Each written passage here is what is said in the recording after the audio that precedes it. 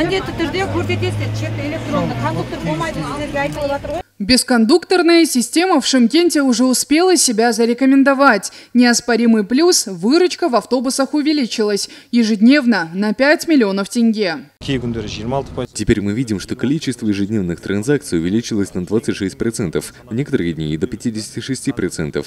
Ежедневная прибыль в среднем увеличилась на 5 миллионов тенге.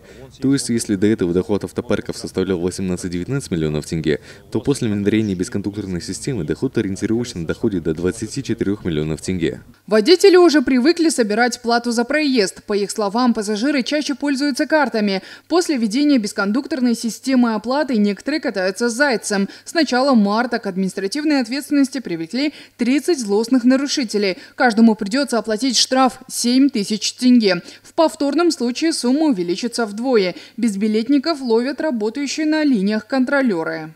кірген кезде бірінші кезде түсіндіру жүйесі Когда мы заходим в автобус, сразу объясняем, что необходимо оплачивать проезд. После проверяем тулем карты каждого пассажира, оплатил пассажир проезд или нет. Некоторые пытаются спорить, мы на конфликт не идем, стараемся объяснять.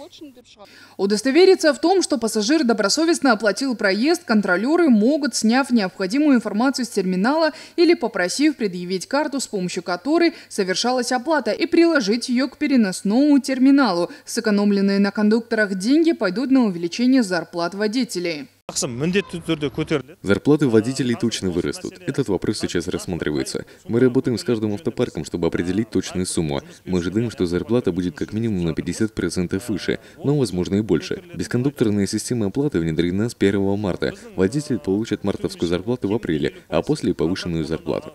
Скоро весь общественный транспорт Шымкента оборудуют голосовыми объявлениями об остановках. Новшество в пилотном режиме уже внедрено в 100 городских автобусах. кардио орталық аялдамасы келесі аялдама студенттер қалашығы Куркем Сибалиева, Александр Крапивкин, информационная служба телекомпании «Утрар».